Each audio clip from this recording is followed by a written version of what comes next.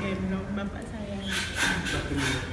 Mungkin kayak kayak kayak kalau waktu saya digendong waktu kecil gitu terus ini gantian aja gitu rasanya kurang lebih seperti apa yang mau banyak banget ya pasti iya kita nggak bisa sebutin satu satu jadi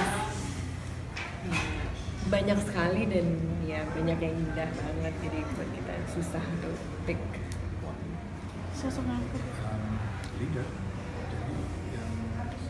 saya dia kalau ada dia kita merasa tenang. Karena dia uh, family man yang basisnya tuh solusi gitu. Apa mikirin uh, semua tuh ada jalan. Keluarnya. dia bikin orang merasa tenang dalam hal itu. Nah itu sosok yang